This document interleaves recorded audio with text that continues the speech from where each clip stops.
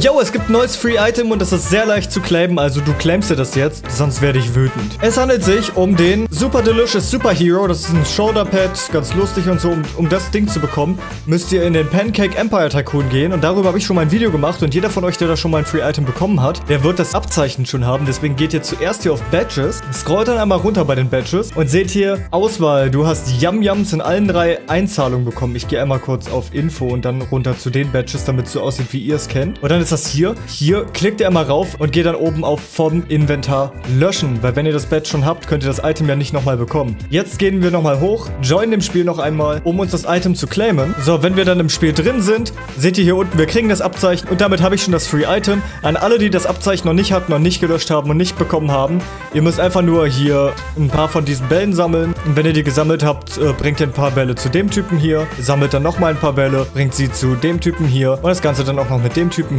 Und dann kriegt ihr das Badge und das war's auch schon. Und Leute im Stream vorbeigucken, ja?